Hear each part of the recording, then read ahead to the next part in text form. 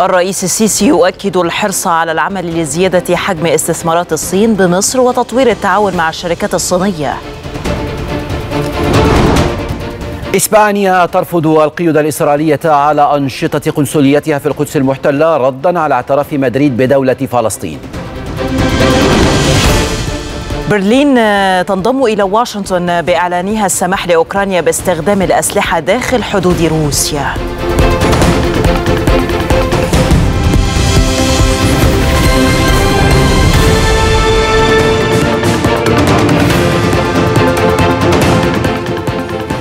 الثالثة عصرا الثانية عشرة بتوقيت جرينتش نشرة إخبارية تأتيكم من القاهرة. أهلا بحضراتكم. ونبدأ مع الزميلة آية عبد الرحمن. إليك آية. ياسر تحياتي لك وتحياتي لحضراتكم. وأهلا بكم في هذه النشرة والبداية من زيارة الرئيس السيسي إلى العاصمة الصينية بكين.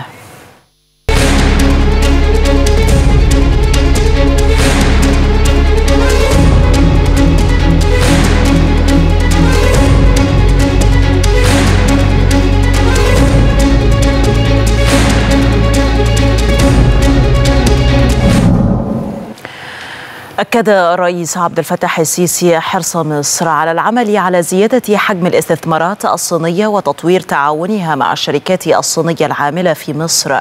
وخلال لقائه بالعاصمة الصينية بكين مع سونغ هايلانغ رئيس مجلس إدارة مجموعة هندسة الطاقة الصينية تشاينا إنرجي ثمن الرئيس السيسي علاقات التعاون القائمة مع الشركة والمشاركة في عدد من المشروعات الكبرى بمصر. وأوضح المتحدث الرسمي باسم رئاسة الجمهورية أن الرئيس السيسي شدد على اهتمام مصر بتعزيز مستوى التنسيق والتعاون مع الشركة وأيضا الاستفادة من الخبرات والإمكانات التي تمتلكها. ومؤكدا ترحيب مصر برغبة الشركة في توسيع نطاق مشروعاتها في مصر.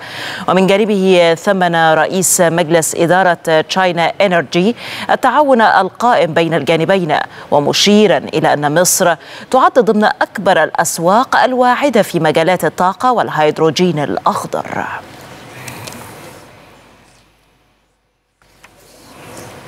التقى الرئيس عبد الفتاح السيسي زينغ شويشوان رئيس الشركة الصينية العامة للهندسة المعمارية سيسيك وذلك على هامش الزيارة التي يجريها الرئيس إلى الصين. وصرح المتحدث باسم رئاسة الجمهورية أن الرئيس أكد حرص الحكومة على استفادة الشركات الصينية. من التطور الذي شهدته مصر في قطاع البنية التحتية من خلال تعزيز استثماراتها. كما أعرب الرئيس السيسي عن تقدير مصر لجهود سيسيك في تنفيذ العديد من المشروعات في مصر مرحبا بدفع المزيد من المشروعات المشتركة من جانبها ثمن رئيس سيسيك التطور الهائل الذي شهده قطاع الإنشاءات والبنية التحتية في مصر واهتمام الدولة بالاستفادة من الخبرات الصينية في هذا المجال.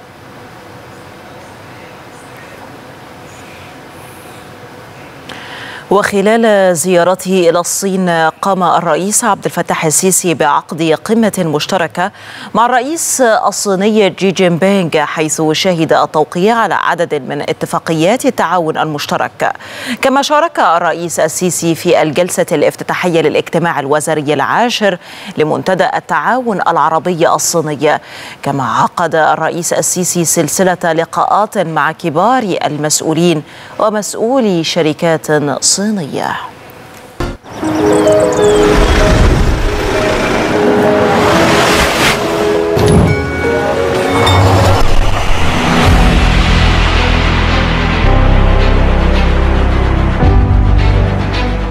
تلبية لدعوة الرئيس الصيني شي جين بينغ. قام السيد الرئيس عبد الفتاح السيسي بزيارة العاصمة الصينية بكين.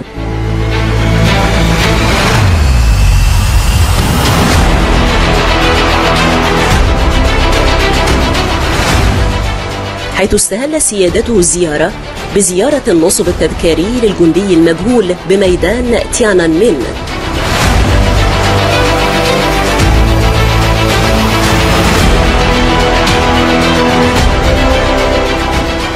وتفضل سيادته بوضع إكليل من الزهور على النصب التذكاري للجندي المجهول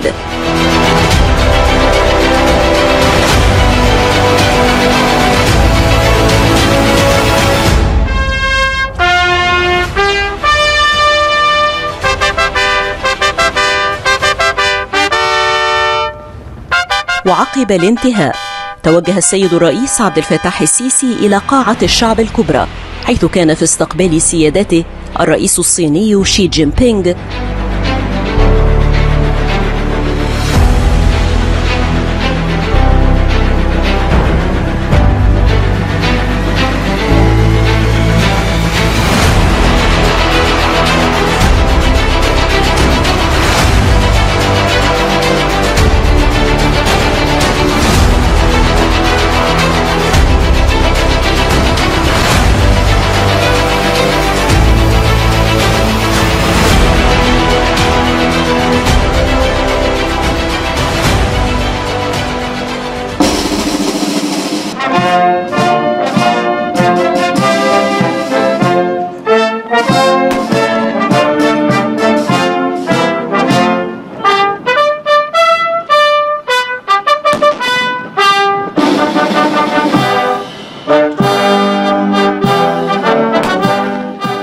وأجريت مراسم الاستقبال الرسمية وتم عزف السلامين الوطنيين واستعراض حرس الشرف.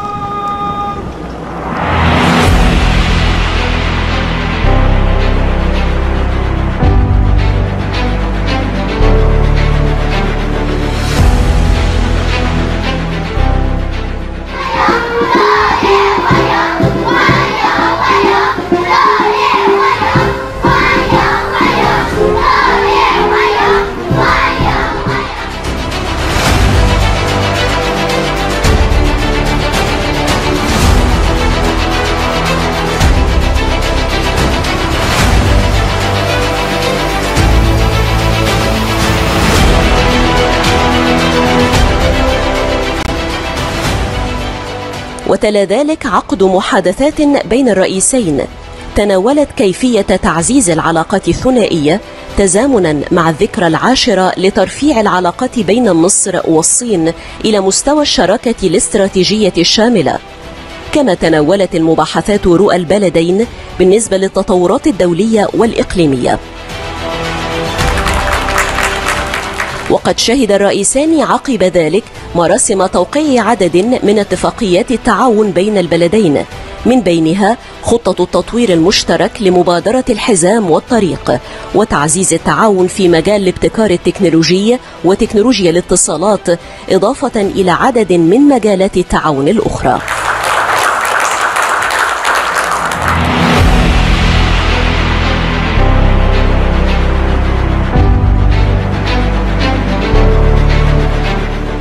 كما شارك السيد الرئيس عبد الفتاح السيسي في الجلسة الافتتاحية للاجتماع الوزاري العاشر لمنتدى التعاون العربي الصيني والذي يعقد بالعاصمة الصينية بكين حيث ألقى سيادته كلمة مصر بالمنتدى. السيدات والسادة أود أن أنوه في هذا الإطار إلى التقدير العربي الكبير للسياسات الصينية تجاه القضية الفلسطينية ودعم بكين المستمر للوقف الفوري لإطلاق النار في غزة والحق الفلسطينيين المشروع في إقامة دولتهم المستقلة.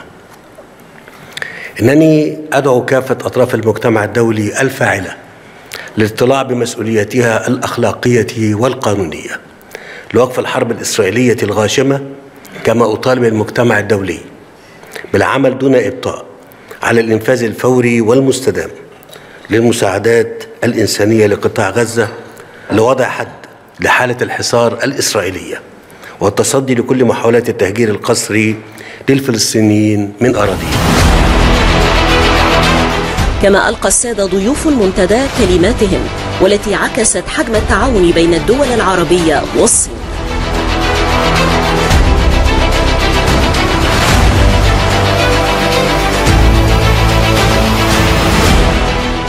كما عقد السيد الرئيس عبد الفتاح السيسي عددا من اللقاءات الثنائية مع كل من السيد تشاولي جي رئيس اللجنة الدائمة لمجلس نواب الشعب الصيني. وكذا السيد لي تشيانغ رئيس مجلس الدولة الصيني.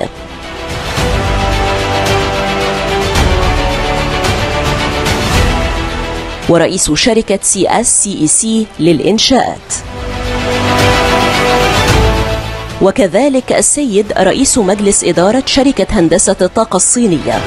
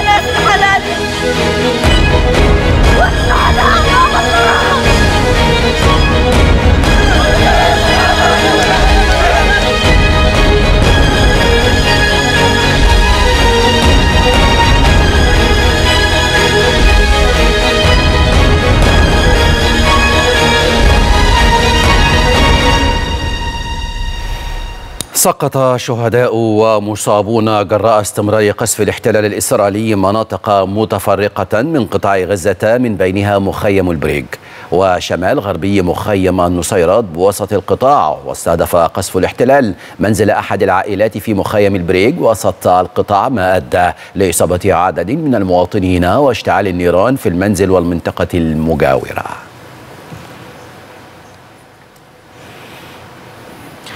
تتواصل ردود الفعل الدولية والأممية جراء تفاقم تداعيات العدوان والحصار الإسرائيلي المتواصل على سكان قطاع غزة. المزيد مع الزميل كريم الخولي مشاهدينا أهلا بحضراتكم. تطورات سريعة متتالية تشهدها الساحة الفلسطينية جراء تصاعد حدة العدوان الإسرائيلي على غزة. وتحديدا على مدينة رفح الفلسطينية ما أثار تنديدا عالميا ودعوات أممية بضرورة وقف إطلاق النار الذي ينتهك كافة القوانين الدولية والإنسانية. الرئيس عبد الفتاح السيسي أكد في كلمته بأعمال الجلسة الافتتاحية للدورة العاشرة للمنتدى العربي الصيني على عدم وجود سبيل للوصول إلى السلام والاستقرار الإقليمي والدولي المنشودين إلا من خلال المعالجة الشاملة لجذور القضية الفلسطينية كما شدد على ضرورة الالتزام الجاد والفوري بحل الدولتين والإقرار بحق الفلسطينيين المشروع في الحصول على دولتهم المستقلة داعيا المجتمع الدولي بالعمل دون إبطاء على الإنفاذ الفوري والمستدام للمساعدات الإنسانية لغزة والتصدي لكل محاولات التهجير القسري للفلسطينيين من أراضيهم. ومن جانبه أعلن الرئيس الصيني خلال المنتدى ذاته دعم بلاده إقامة دولة فلسطينية عاصمتها القدس الشرقية وذلك على حدود عام 1967 ودعم حصولها على العضوية الكاملة في الأمم المتحدة داعيا لضرورة وقف إطلاق النار في قطاع غزة لأنه لا يجوز استمرار الحرب في غزة إلى أجل غير مسمى ولا يجوز غياب العدالة إلى الأبد. مواقف مشابهة أكد عليها القادة المشاركون خلال المنتدى العربي الصيني والذي جاء عقب جلسة لمجلس الأمن لبحث تواصل العدوان الإسرائيلي على غزة وآخر التطورات في الأراضي الفلسطينية والتي قال فيها نائب مندوب فلسطين إن قوات الاحتلال الإسرائيلي دأبت على تدمير كافة مقومات الحياة في قطاع غزة. وخلال الجلسة أيضا أكد منسق عملية السلام بالشرق الأوسط أن استمرار إسرائيل في شن عمليات عسكرية بمدينة رفح الفلسطينية سيزيد حدة الدمار ويفاقم الكارثة الإنسانية التي يواجهها النازحون الفلسطينيون. فيما أشار نائب ممثل الولايات المتحدة بمجلس الأمن إلى أن حل الدولتين هو السبيل الوحيد لإحلال الأمن والسلام بالمنطقة. يأتي ذلك بالتزامن أيضا مع تفاقم المعاناة الإنسانية جراء تواصل العدوان والحصار الإسرائيلي الذي يستهدف السكان المدنيين وموظفي الإغاثة بصورة متعمدة في غزة حيث أعلنت جمعية الهلال الأحمر الفلسطيني استشهاد اثنين من طواقمها في قصف إسرائيلي متعمد لسيارة إسعاف على مدينة رفح جنوبي قطاع غزة. ومن جانبها قالت وكالة الأمم المتحدة لإغاثة وتشغيل اللاجئين الفلسطينيين أونروا إن الناس في غزة يواجهون كل يوم إصابات وصدمات نفسية وانتشار الأمراض المعدية ونقصا في الغذاء والماء والوصول المحدود إلى الأدوية والرعاية الصحية مشيرة لفرار المزيد من العائلات من رفح الفلسطينية بعد تكثيف العمليات العسكرية وصفة الوضع باليائس تماماً. مشاهدينا الكرام كان هذا عرضا موجزا حول ردود الفعل الدولية والأممية جراء تفاقم تداعيات العدوان والحصار الإسرائيلي المتواصل على سكان قطاع غزة لقرابة 240 يوما. شكرا لكم على المتابعة.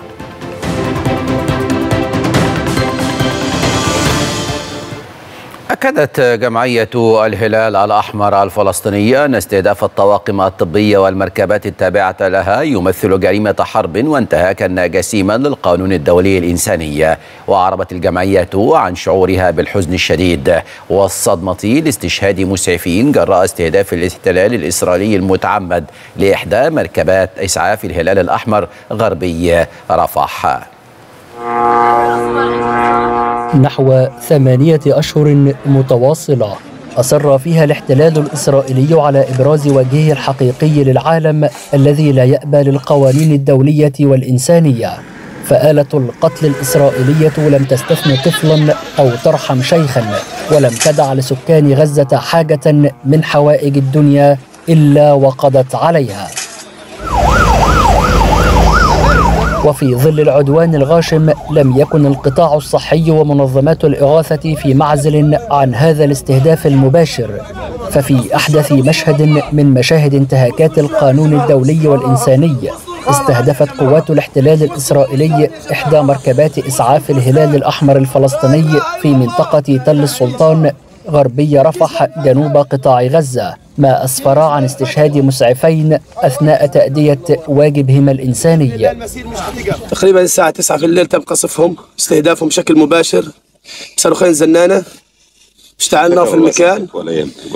وذهبنا لهم ثلاثة مرات تقريبا. لكن للأسف ما في جدوى في الأمر. تم إطلاق النار علينا بشكل مباشر على جميع الطاقم الموجود. حاولنا نطفئ الحريق. لكن تم إطلاق على الطاقم على النيران على الطاقم بشكل كامل.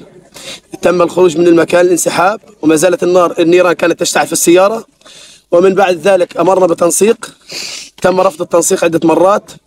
وانتظرنا الصباح الباكر حتى ذهبنا بشكل ارتجالي واستخراج جثثهم. منع إنقاذ المصابين حتى يلقى العدد الأكبر حتفه هكذا ينفذ الاحتلال استراتيجية الإبادة الجماعية بحق العزل داخل قطاع غزة وكأنهم مجرد أرقام تحصى ليسوا ارواحا تفنى أو اجسادا تشقى.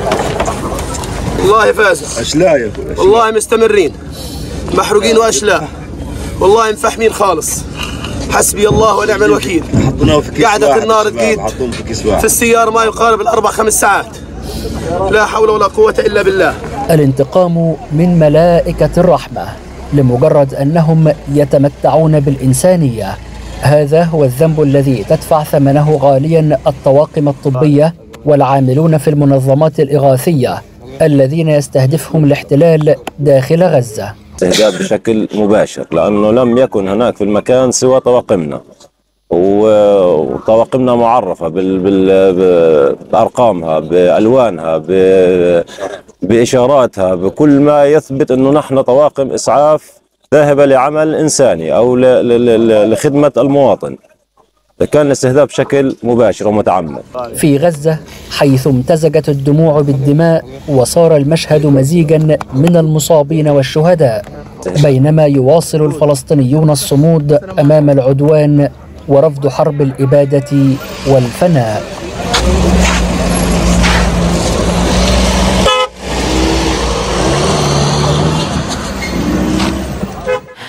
بدأت فرق الدفاع المدني في انتشال جثامين الضحايا من مخيم جباليا شمال غزة.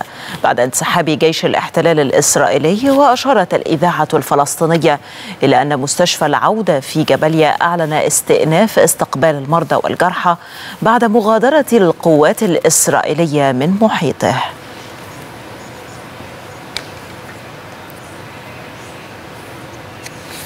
ولمتابعة الأوضاع في الجانب المصري من معبر رفح مع رسالة الزميل كريم رجب مراسل إكسترا نيوز.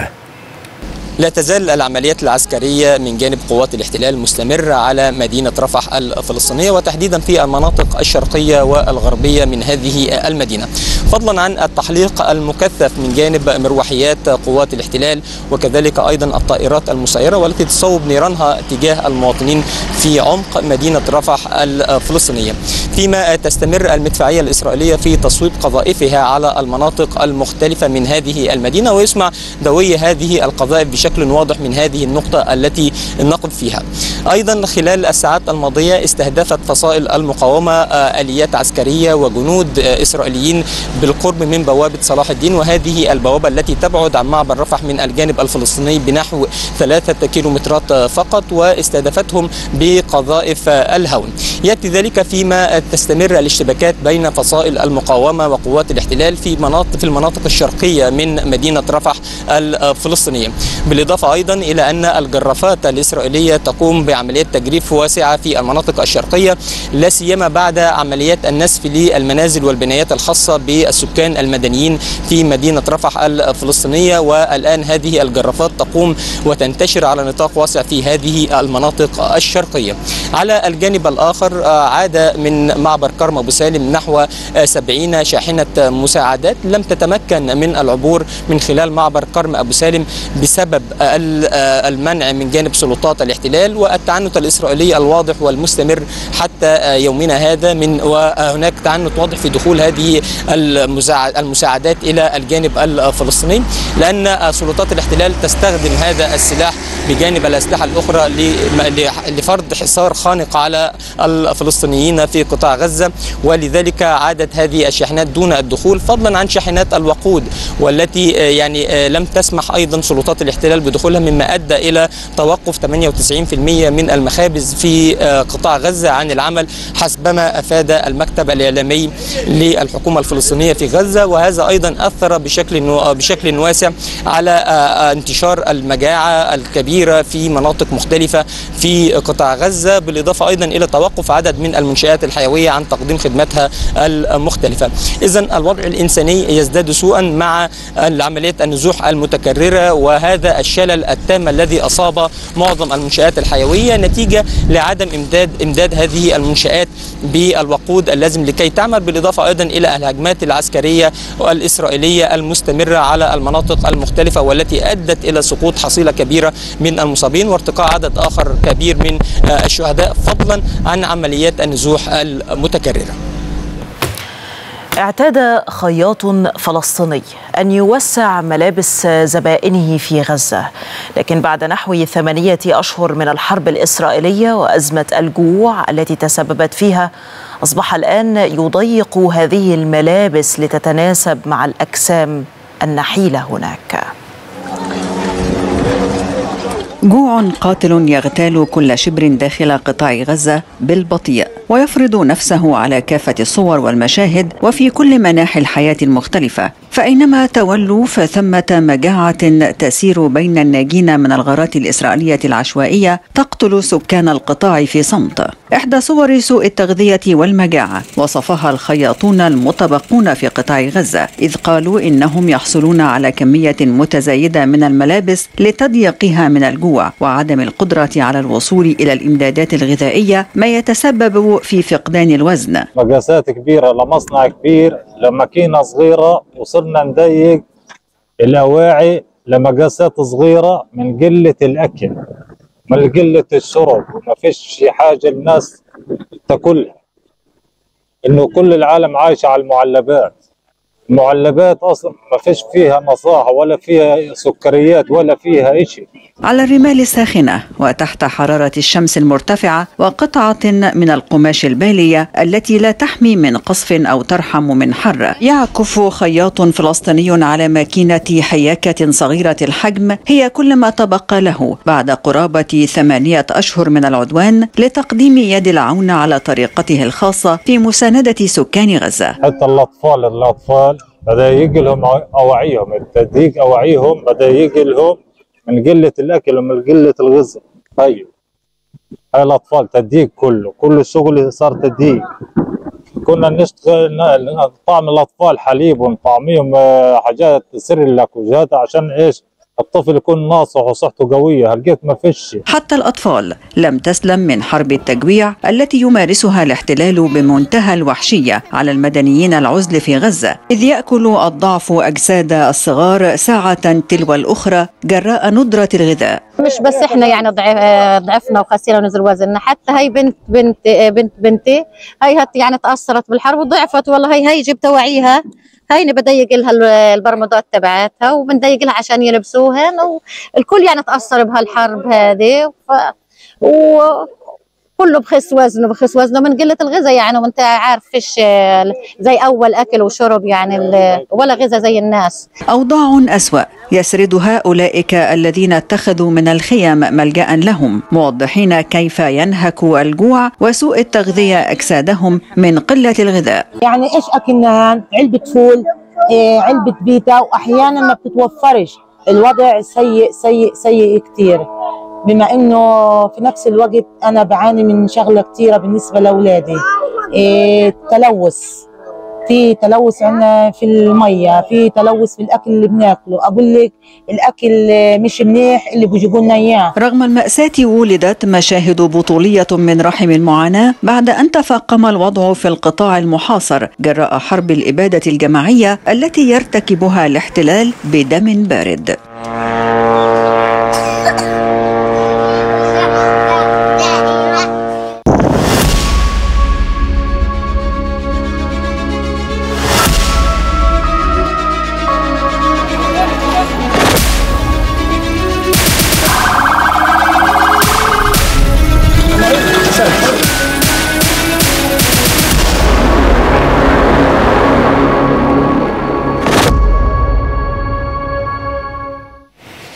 رفضت إسبانيا كل تقييد تعتزم إسرائيل فرضه على أنشطة قنصليتها في القدس المحتلة ردا على اعتراف مدريد بدولة فلسطين. وأعلن وزير الخارجية الإسباني خوسيه مانويل ألباريس أن بلاده أرسلت مذكرة شفهية للحكومة الإسرائيلية ترفض فيها أي تقييد للنشاط المعتاد للقنصلية العامة الإسبانية في القدس المحتلة مؤكدا أن وضعها مكفول بموجب القانون الدولي.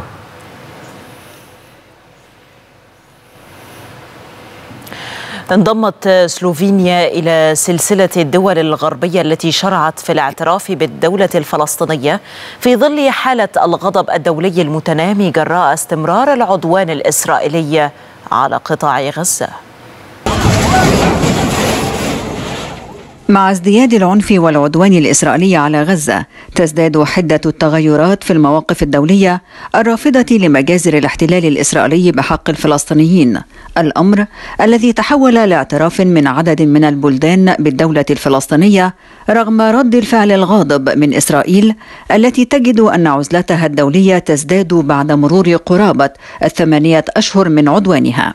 سلوفينيا باتت من بين أحدث المنضمين لركب المعترفين بدولة فلسطين مستقلة وذات سيادة وأكد رئيس وزرائها روبرت جلوب أنه يتعين على الجميع أن يعمل في اتجاه واحد فقط وهو الذي يحقق السلام الدائم في الشرق الأوسط.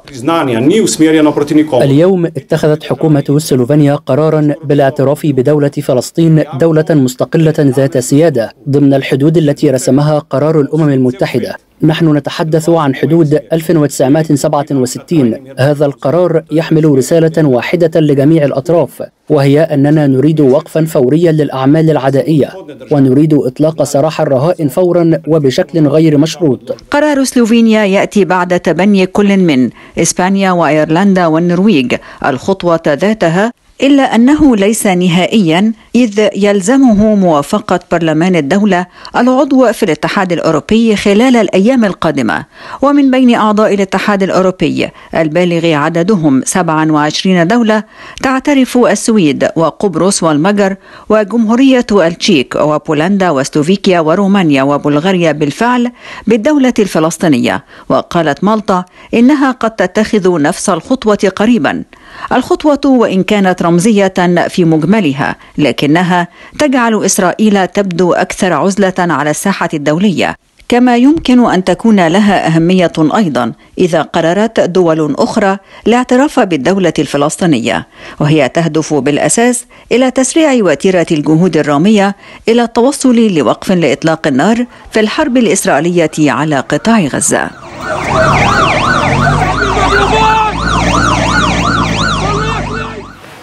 أعلنت القيادة المركزية الأمريكية أن قواتها نفذت بالاشتراك قوات قوات بريطانية غارات مشتركة ضد 13 هدفا للحوثيين في اليمن. وذكرت وزارة الدفاع البريطانية أن العملية المشتركة استهدفت ثلاثة مواقع في مدينة الحديدة الساحلية على البحر الأحمر. قالت إنه كان يوجد بها طائرات مسيرة وأسلحة أرض جو.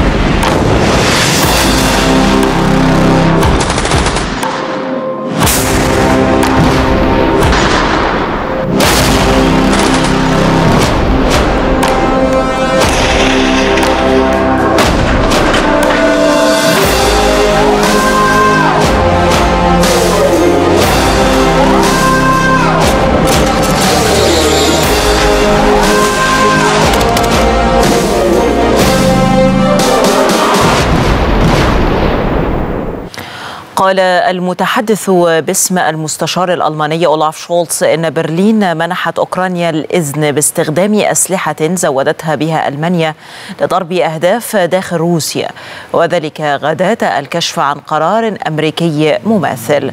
وتمثل هذه الخطوة نقطة تحول بالنسبة لبرلين التي كانت ترفض أن تستخدم كييف امداداتها العسكرية لضرب أهداف داخل روسيا بسبب مخاوف من تصعيد الحرب.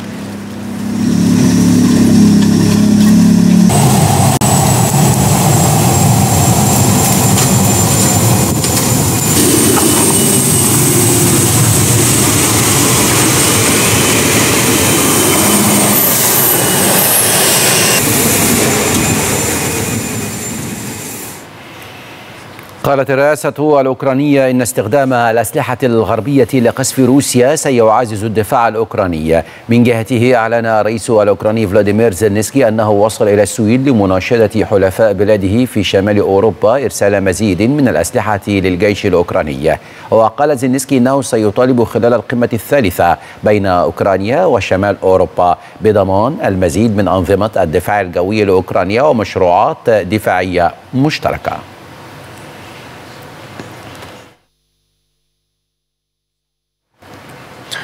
أكد الكرملين بأن القوات الأوكرانية سبق واستهدفت روسيا بأسلحة أمريكية بعدما رفعت واشنطن جزئيا القيود للسماح لأوكرانيا بالدفاع عن منطقة خاركييف. في تطور لافت على صعيد الحرب الروسية الأوكرانية المشتعلة منذ أكثر من عامين. أعطى الرئيس الأمريكي جو بايدن أوكرانيا الضوء الأخضر لاستخدام أسلحة أمريكية في ضرب روسيا لغرض محدود. هو الدفاع عن خاركيف. ووفق تقارير أمريكية. فإن السياسة الأمريكية التي تدعو أوكرانيا إلى عدم استخدام أنظمة أتاكامز وهو نظام الصواريخ التكتيكية للجيش المقدمة من الولايات المتحدة أو الصواريخ طويلة المدى والذخائر الأخرى لضرب روسيا بشكل هجومي لم تتغير. وأن توجيهات بايدن تسمح باستخدام الأسلحة التي تقدمها واشنطن لأغراض مضادة في منطقة خاركيف حتى تتمكن كييف من الرد على القوات الروسية التي تهاجمها أو تستعد لمهاجمتها. ويأتي الموقف الأمريكي استجابة للمطالب الأوكرانية حيث كثف المسؤولون الأوكرانيون خلال الآونة الأخيرة دعوتهم للإدارة الأمريكية للسماح لقواتهم بالدفاع عن أنفسهم ضد الهجمات التي تنطلق من الأراضي الروسية. ولصد الهجوم الروسي على خاركيف احدى ثاني أكبر المدن الأوكرانية والتي تبعد 20 كيلومتر فقط من الحدود الروسية. كما جاء الموقف الأمريكي مع استغلال روسيا للتأخير الطويل في تجديد المساعدات العسكرية الأمريكية وتباطؤ عملية التسليم الحاسمه إلى ساحة المعركة لاوكرانيا من أوروبا الغربية ما أدى إلى تحقيق موسكو تقدما ميدانيا على أوكرانيا خلال الفترة الأخيرة. وردا على تلك الخطوة. هددت موسكو بالتصعيد المتبادل محذرة من خطر اندلاع صراع عالمي. إذا ما تم السماح لكييف باستخدام الأسلحة الغربية لضرب الداخل الروسي. إلا أن الأمين العام لحلف شمال الأطلسي ناتو يانس ستالنبرغ قلل من تهديدات موسكو بالتصعيد. معتبرا أن تلك التهديدات تعد جزءا من جهود الرئيس الروسي فلاديمير بوتين لمنع أعضاء الناتو من دعم أوكرانيا. لأوكرانيا الحق في الدفاع عن النفس ولدينا الحق في مساعدة أوكرانيا. وهذا لا يجعل حلفاء الناتو طرفا في الصراع. لقد قامت روسيا بالتصعيد في الأسابيع الماضية فقط من خلال فتح جبهة جديدة حيث تضرب أوكرانيا من داخل روسيا. وبطبيعة الحال على افتراض ذلك لا ينبغي لأوكرانيا أن ترد. فهذا أمر غير معقول بأي حال من الأحوال. لأنه يجب أن تكون أوكرانيا قادرة على الدفاع عن أراضيها وكذلك من خلال ضرب المدفعية والصواريخ التي يتم إطلاقها ضدها. ورفعت أوكرانيا في الأيام الأخيرة من وتيرة الهجمات بالطائرات المسيرة التي تستهدف منطقة كراسنودار الواقعة جنوب روسيا والتي تعد مقصدا سياحيا مع اقتراب موسم الإجازات الصيفية. أكدت الصين أن حضورها مؤتمرا للسلام بشأن أوكرانيا تستضيفه سويسرا في يونيو المقبل سيكون أمرا صعبا. وقالت المتحدثة باسم وزارة الخارجية الصينية ماونينج إن ترتيب هذا الاجتماع لا يزال دون متطلبات الصين وتطلعات المجتمع الدولي ما يجعل من الصعب على الصين أن تشارك فيه.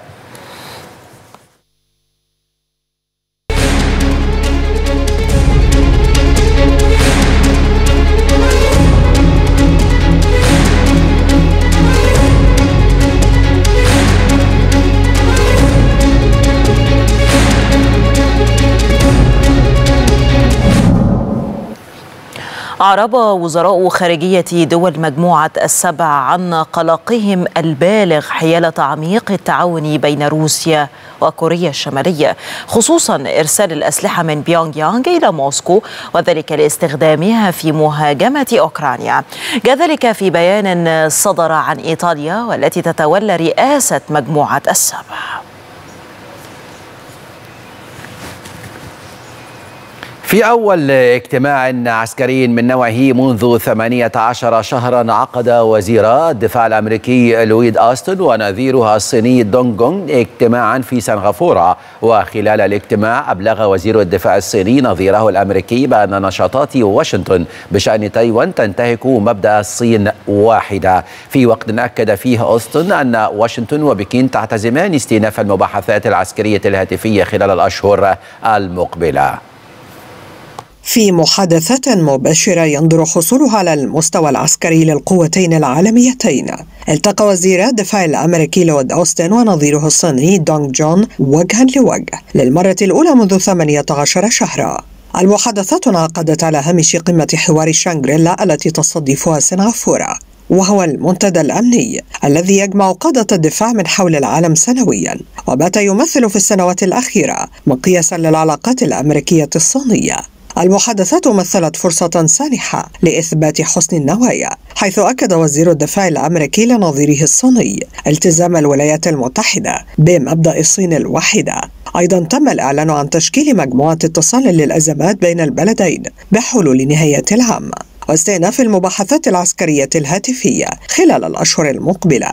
أيضا وصفت وزارة الدفاع الصينية المباحثات بين أوستن ودونغ بأنها كانت بناءة وعملية لكن ذلك لم يمنع وزير الدفاع الصيني من أن يصارح نظيره الأمريكي باستياء بكين من النشاطات الأمريكية بشأن تايوان والتي تنتهك مبدأ الصين الواحدة.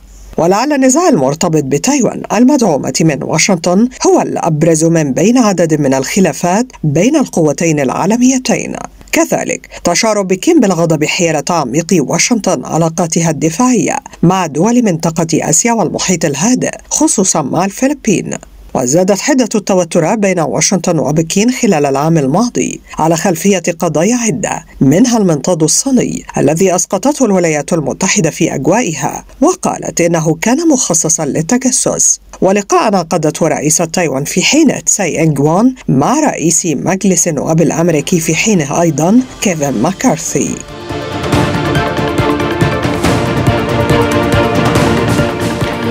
التقى المستشار الدكتور حنفي جبالي رئيس مجلس النواب بالسيد جولد شامن نائب رئيس وزراء جمهورية المجر خلال زيارته على رأس وفد من مجلس النواب إلى المجر. وأكد المستشار الدكتور حنفي جبالي رئيس مجلس النواب أن العلاقات المصرية المجرية تتسم بتعدد مجالات التعاون والتلاقي مما يستوجب على البلدين إثراء رؤاهما المشتركة حيال مختلف قضايا الاهتمام المشترك. كما شدد رئيس مجلس النواب على رفض مصر القاطع والتام للعملية العسكرية الإسرائيلية في منطقة رفح الفلسطينية محذرا من التداعيات الكارثية لها والتي ستسفر عن أكبر عملية إبادة جماعية ضد المدنيين في القرن الحادي والعشرين. كما أكد رفض مصر أيضا لتوظيف الاحتلال الإسرائيلي لمعبر رفح ليكون بمثابة أداة لإحكام الحصار على الشعب الفلسطيني في قطاع غزة. من جانبه أبدى نائب رئيس الوزراء المجري تقديره التام لمستوى العلاقات المجرية المصرية مثمنا الدور الجوهري للرئيس عبد الفتاح السيسي في ضمان أمن واستقرار المنطقة. كما أكد نائب رئيس الوزراء المجري التزام المجر التام بتعزيز التعاون الاقتصادي مع مصر ودعم بلاده للشركات المجرية للاستثمار في مصر.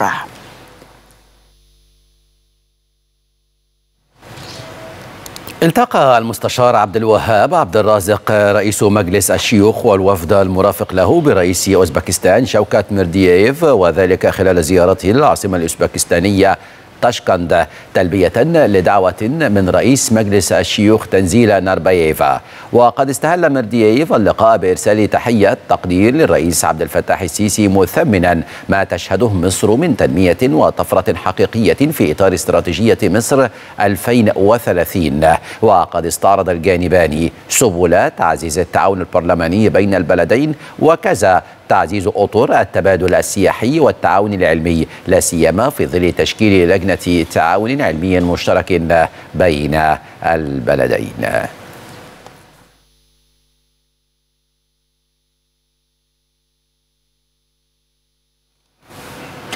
تحت مظلة التحالف الوطني للعمل الأهلي التنموي قامت مؤسسة صناع الخير للتنمية بافتتاح دار لرعاية الأيتام بمحافظة الفيوم بعدما شهدت أعمال تطوير وكما تشهد أيضا الدار. ومن خلال مؤسسة صناع الخير وجود قافلة طبية للكشف على قاطنيها وصرف العلاج اللازم لهم.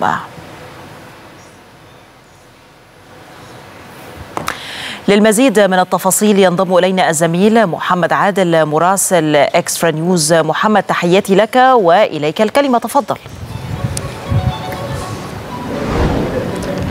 تحياتي آية وتحياتي لكل المتابعين من هنا من محافظة الفيوم حيث نتابع مواصلة التحالف الوطني للعمل الأهلي التنموي جهوده جهوده المجتمعية وافتتاح هذا المقر الذي نحن به الآن دار عائشة حسنين لرعاية الأيتام والذي يأتي من خلال يعني مؤسسة صناع الخير للتنمية. هذه المؤسسة التي تعد إحدى المؤسسات وإحدى الكيانات الأعضاء بالتحالف الوطني للعمل الأهلي التنموي. هذه الدار دار عائشة حسنين لرعاية الأيتام آية يعني لحق بها العديد من أعمال التطوير يعني والرفع من الكفاءة بهدف يعني توفير والارتقاء بالمعيشة للقاطني والأطفال القاطني هذا الدار من الأيتام. نتحدث عن نحو 65 طفل يتيم يعيش هنا في هذا الدار. حرصت مؤسسة صناع الخير على توف... يعني الرفع من كفاءة هذا الدار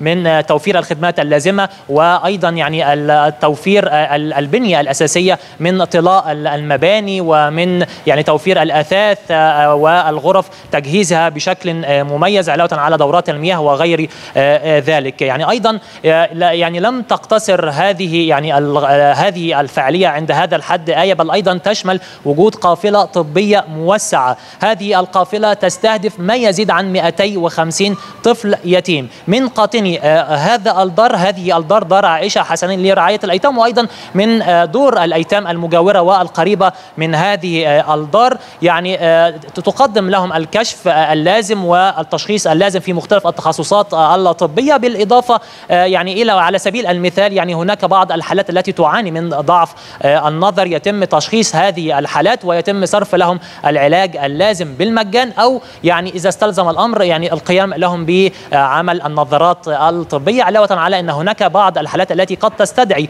يعني التدخل الجراحي أو العمليات إجراء العمليات الجراحية. يعني أيضا يتم التمهيد لذلك لإجراء مثل هذه العمليات. هذه القافلة يعني تأتي تحت شعار ولادنا في عينينا وهي يعني بهدف الكشف المبكر للأمراض والحد من إصابة هؤلاء الأطفال أو هؤلاء الأيتام من أي أمراض قد تؤثر على يعني حياتهم الطبيعية. يعني في الحقيقة آية جهود كبيرة ومتواصلة ومستمرة من قبل التحالف الوطني للعمل الأهلي التنموي ومن بمختلف مؤسسات وكيانات الأعضاء. نتحدث عن 36 مؤسسة وكيان أعضاء بالتحالف الوطني يقدمون ويلعبون دورا مجتمعيا هاما في إطار توجيهات الدولة والقيادة السياسية. ممثلة في السيد الرئيس عبد الفتاح السيسي رئيس الجمهورية بأهمية توفير الدعم والخدمات اللازمة للفئات الأولى بالرعاية بمختلف شرائحها في المجتمع المصري وأيضا استهداف القرى والمناطق الأكثر احتياجا والأكثر استحقاقا في مختلف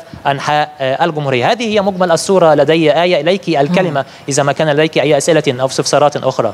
شكرا جزيلا لك الزميل محمد عادل مراسل إكسترا نيوز كنت معنا من محافظة الفيوم.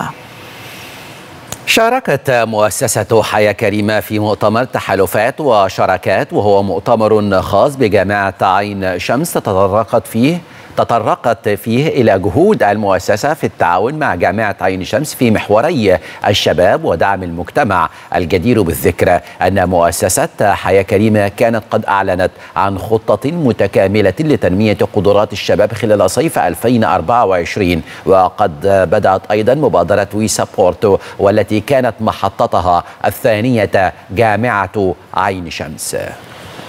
الأنشطة اللي إحنا بنقدمها لشباب الجامعات أثناء فترة الصيف بن بنعرف الشباب إحنا موجودين معاهم بإيه.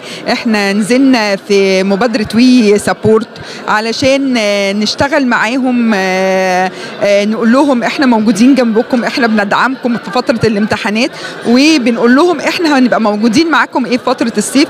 حياة كريمة بت بت بتعرف الشباب النهاردة شباب جامعة عين شمس وكافة الشباب المؤسسات التعليمية. إحنا موجودين بنقدم في الصيف مبادرة فاليو لرفع كفاءة الشباب وقدراتهم لمواجهة سوق العمل. هذا المؤتمر اللي بتنظمه جامعة عين شمس ويمكن واحدة من الموضوعات المهمة اللي هو الجامعة بتنظمها في هذا المؤتمر اللقاء اللي أنا حضرته السيشن أو هو خاص بدور المجتمع والتكاتف بين الجامعة وبين المجتمع المدني. وده غاية في الأهمية ودايما إحنا بنأكد على نقطة مهمة إن المجتمع الجامعة دورها إيه مع مع المجتمع؟ الجامعة مش هي عبارة عن هيئة تعليمية تعطي شهادات بكالوريوس أو ماجستير أو دكتوراه فقط ابدا. الجامعة لها دور أكبر من ذلك بكثير. الجامعة لها دور مجتمعي لها دور تنموي لها دور أهلي لها دور خدمي لها دور بيئي. المؤتمر عن التحالفات والشراكات مع كل الجهات الوطنية والإقليمية والدولية. النهاردة إحنا كنا موجودين في جلستين مهمين جدا خاصين بالاستدامة. واحدة ليها علاقة بالطاقة والمياه والغذاء مع أحد الشركاء الهولنديين والأخرى مع مؤسسة حياة كريمة وأحد المؤسسات الخاصة التي لها علاقة بتدوير المخلفات. بنحاول إن إحنا نشوف الشراكات اللي ممكن نعملها على جميع الجوانب سواء الجوانب البيئية أو الجوانب البحثية وكان معانا كمان بعض المشروعات اللي إدارة المراجعة المالية في الجامعة بتعملها على المستوى القومي من أجل يعني إن إحنا نؤدي إلى حياة كريمة للمواطن المصري في النهاية. أنا حضرت فعلا برنامج فاليو فكنت متحمس جدا إن أنا أشوف بقى حياة كريمة بتشتغل معانا في الجامعة وبتقدم الخدمات اللي هي بشوفها بتحصل بره الجامعة وفي الجامعات المختلفة دي عندنا في الجامعة. فلما عرفت إن هي جاية النهاردة في في مؤتمر الجامعة اتحمست إن أنا أحضر وعرفت أكتر عن البرامج اللي بتتقدم زي التمكين الاقتصادي ومنتدى شباب الجامعات اللي بيأهل منتدى شباب العالم. وبإذن الله آه، أنا حضرت برنامج فاليو وبإذن الله هحضر الحاجات اللي هتتنفذ بعد كده واستفاد من كل البرامج بإذن الله اللي بت- بتعملها وبتقدمها لطلاب الجامعات. نظمت مؤسسة حياة كريمة بالتنسيق مع جامعة أسيوط قافلة طبية بقرية درونكا بمحافظة أسيوط. تضم القافلة ثمانية تخصصات طبية مختلفة حيث استقبلت أعدادا كبيرة منذ بداية العمل في إطار جهود الدولة لتقديم الخدمات الصحية والوصول لكل المواطنين في القرى والمراكز وتم تقديم الكشف والعلاج بالمجان الحقيقة استكمالا لانشطه المبادره الرئاسية حياة كريمة آه، مكتب مؤسسة حياة كريمة واسيوط بالتعاون مع جامعة أسيوط ووزارة الصحة. بننظم آه، قافلة طبية بقرية درونكا مركز أسيوط موجودين دلوقتي في مركز طب الأسرة بقرية درونكا آه، لتنظيم قافلة طبية بمشاركة جامعة أسيوط ووزارة الصحة. معانا 8 تخصصات طبية بطنة عامة أطفال جلدية وتناسلية أمراض صدرية عصبية ونفسية جراحة عظام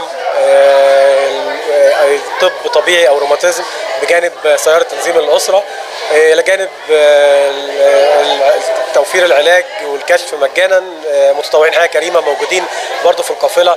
لدراسة أي طلب كحالة إنسانية من أهالينا المستحقين سواء كان تدخل آه، للبيوت أو تدخل لمساعدة بكراسي متحركة أو ايا كانت الحالات الصحية. آه، على هامش القافلة طبعا الدكاترة المشاركين في القافلة من جامعة أسيوط بيشوفوا لو في أي حالة تستحق آه، تحويل لمستشفى مستشفى جامعة أسيوط المؤسسة بتتكفل بيها. طبعا دي مش أول قافلة ما بين مكتب محافظة أسيوط مؤسسة حياه كريمة وما بين جامعة أسيوط ووزاره الصحة كان عندنا قبل كده قافلة في منفلوط آه، قرية بني رافع وقبلها كانت قافلة في قرية علوان ومستمرين إن شاء الله لتغطية آه، جميع قرى مراكز أسيوط بإذن الله. التخصصات كلها موجودة جميع جميع التخصصات والقفله مجانية. آه، وكمان عندنا بنست... بن... بن... بنعمل فيها المبادرات الرئاسية مبادرة صحة المرأة الكشف المبكر عن السرطان الثدي والاعتلال الكلوي والأورام السرطانية الخاصة بالبروستاتا والقولون و- والعلاج مجانا وإحنا استقبلنا القفلة.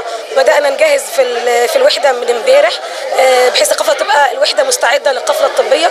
وإحنا بنستهدف جميع التخصصات وجميع وجميع الأعمار وسيدات وكبار وفي كشف عظام وأسنان. والقفلة إن شاء الله تسير بخطى جيدة. المستهدف تقديم الخدمات الطبية للمرضى المحتاجين والغير قادرين في القرى والنجوع البعيدة عن الأماكن المستشفى. آه، إحنا لينا جدول زمني آه، بمعدل قفلتين في الشهر كل- الأسبوع الثاني والرابع من كل شهر بنعمل قفلة طبية سواء داخل المحافظة أو خارج المحافظة. آه، بيبقى في تقديم الخدمة الطبية للناس اللي هي محتاجة آه، كشف طبي آه، أو محتاجة رعاية طبية. وفي تحويل للمستشفى الجامعي للحالات اللي محتاجة تدخل جراحي أو تدخل ما ينفعش إن هو يتعمل داخل القفلة في المكان اللي إحنا فيه. في تعاون مع مؤسسات كتيرة آه، من ضمنها مؤسسة حياة كريمة. والمؤسسة بتحاول إن هي توفر الخدمات الطبية اللازمة للحالات اللي هي غير قادرة على على ال الذهاب للمستشفيات الأماكن البعيدة وبنحاول على قد ما نقدر إن إحنا نزود العدد الكافي من القوافل عشان نغطي أكبر قدر من الأماكن اللي محتاجة آه، خدمة طبية. إحنا النهارده جايين في فاعلية كبيرة تضم أكتر من 8 تخصصات آه، في قرية قرية درونكا بمحافظه أسيوط آه، للفئات الأكثر احتياجا. الفاعلية النهارده بتضم أطفال بطنة صدرية حتى الاشعاعات والتحاليل اللي محتاجها المريض المؤسسة الحقيقة بدورها الإيجابي في حياة كريمة بتقوم بعمل هذه الاشعاعات والتحاليل للفئات الأكثر احتياجا. تحت رعاية رئيس الجمهورية وتزامنا مع قرب حلول عيد الأضحى المبارك أعلنت وزارة الداخلية إطلاق فعاليات المرحلة السادسة والعشرين من مبادرة كلنا واحد اعتبارا من الأول من يونيو ولمدة شهر لتوفير كافة أنواع السلع الغذائية وغير الغذائية للمواطنين بأسعار مخفضة. مبادره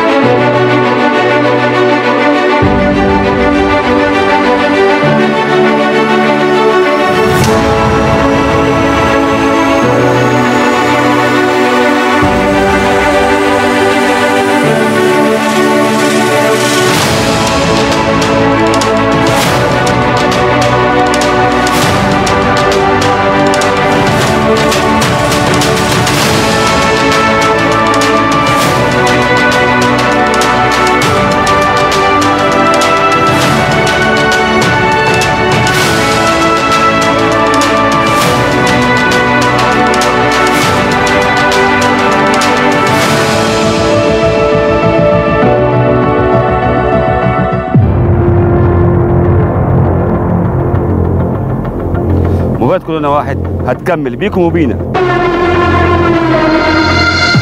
أنا كمان مش عارف المبادره أنا مبسوط إن أنا بشارك في مبادره كلنا واحد. كلنا بنعمل من أجل إنجاح الوطن. وأنا كمان أشارك في المبادرة. أنا كمان هشارك في المبادرة. اللحمة والأغنام باسعار مخفضه وأنا كمان مشارك في المبادرة.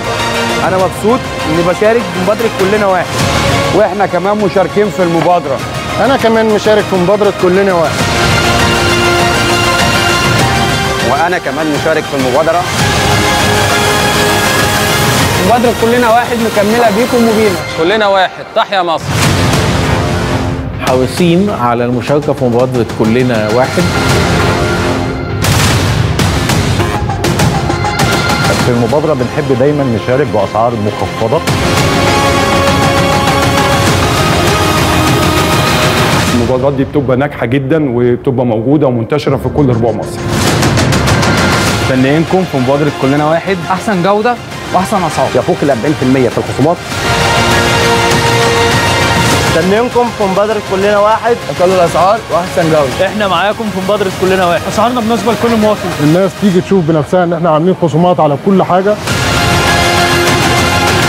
مبادرة كورونا واحد فيها أحسن الأسعار بأعلى جودة. بنشكرهم جميعا على تقديم المبادرة لينا.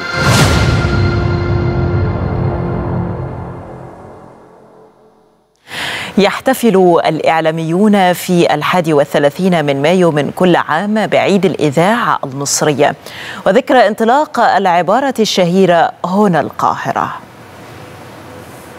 كونوا معنا دائما على موجتنا هذا فهنا صوت العرب من القاهرة. هنا القاهرة. عبارة حماسية تحمل مشاعر الانتماء للوطن. كانت من أولى الكلمات التي انطلقت عبر الإذاعة المصرية في الحادي والثلاثين من مايو عام 1934 سنوات مليئة بكنوز إذاعية. فالإذاعة المصرية هي الصندوق السحري الذي تجمع حوله المصريون وكانت شاهدة على أهم المراحل في تاريخ مصر. إذاعة صوت العرب من أول وأشهر الإذاعات المصرية التي بثت لجميع أقطار العالم العربي باللغة العربية وعملت على تحرر ووحدة الدول العربية والأفريقية ولها شعبية كبيرة بمصر والوطن العربي. الاستماع للإذاعة المصرية يخلق للمستمع طاقات من الخيال والتصور وأيضا غرس القيم الحقيقية للشخصية المصرية. فهي التي في عصرها الذهبي شكلت وعي الجماهير وحمل روادها مسؤولية على عاتقهم لنشر الوعي والثقافة في أذهان المصريين. وشهد المضمون الإذاعي خلال السنوات الماضية حتى الآن تطورا ملحوظا في المحطات الإذاعية التي حافظت على مكانتها بقوة منذ نشأتها وحتى وقتنا هذا.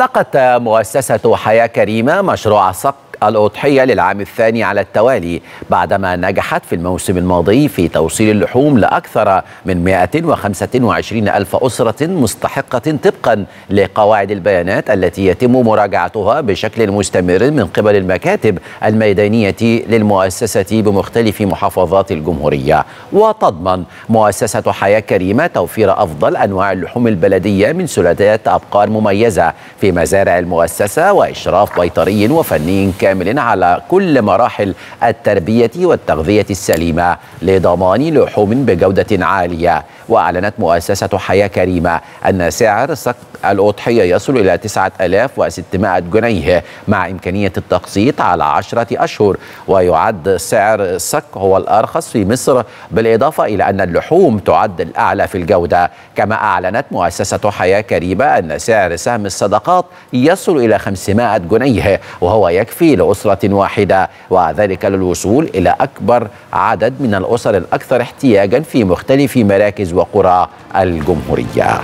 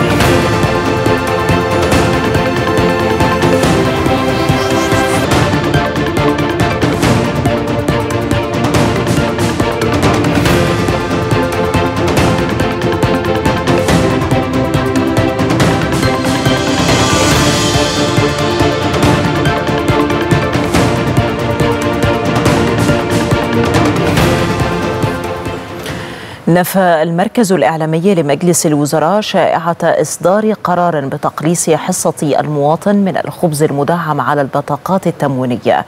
وشدد المركز على انتظام صرف حصة المواطن من أرغفة الخبز المدعم المستحقة له على البطاقات التموينية بشكل طبيعي بواقع خمسة أرغفة يوميا بإجمالي 150 رغيفا شهريا بسعر 20 قرش للرغيف دون أي انتقاص سواء من حيث العدد. أو الوزن.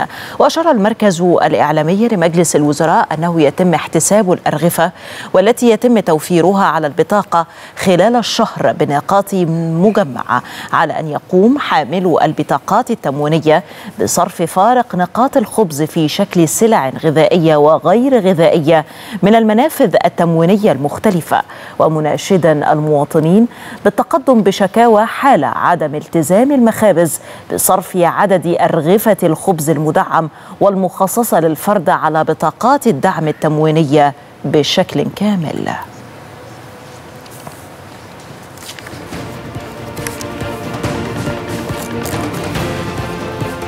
انتهت نشرة الأخبار وإليكم أهم ما جاء فيها.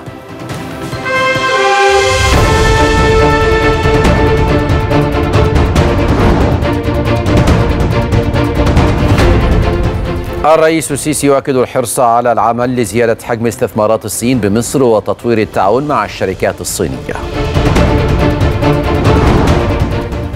إسبانيا ترفض القيود الإسرائيلية على أنشطة قنصليتها في القدس المحتلة ردا على اعتراف مدريد بفلسطين. وبرلين تنضم إلى واشنطن بإعلانها السماح لأوكرانيا استخدام الأسلحة داخل حدود روسيا. للمزيد من الأخبار يمكنكم تحميل تطبيق eXtra News من خلال Apple Store أو Google Play أو من خلال ال QR code الظاهر على الشاشة. شكرا على طيب المتابعة وإلى اللقاء.